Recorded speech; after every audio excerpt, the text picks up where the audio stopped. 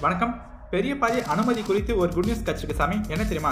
Thiruvithamkoor Devaswom board ஒரு statement ஒன்று கொடுத்துருக்காங்க. அதாவது டிசம்பர் முப்பத்தி ஒன்றாம் தேதி பெரிய பாதை திறக்கிறதுக்கு எல்லா சீரமைக்கும் பணியும் ஸ்டார்ட் பண்ணிட்டோம் அதனால டிசம்பர் முப்பத்தி ஒன்றாம் தேதி பெரிய பாதை ஸ்டார்ட் பண்ணுவோன்ற மாதிரி ஒரு குட் நியூஸ் வந்து சொல்லியிருக்காங்க. நல்லது சாமி. அப்புறம் இன்னொரு விஷயம் என்ன தெரியுமா? நீங்கள் பெரிய பாதை போன விருப்பப்பட்டீங்கன்னா நீங்கள் ஜனவரி மாதம் அதுக்கப்புறமா டிக்கெட் வந்து புக் பண்ணதை பாருங்க.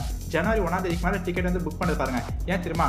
டிசம்பர் முப்பத்தி ஒன்றாம் தேதி தான் பெரிய பாதை வந்து திறப்பாங்க. அப்போ நீங்கள் ஜனவரி மாதம் டிக்கெட் புக் பண்ணீங்கன்னா கரெக்டாக இருக்கும் சாமி. நன்றி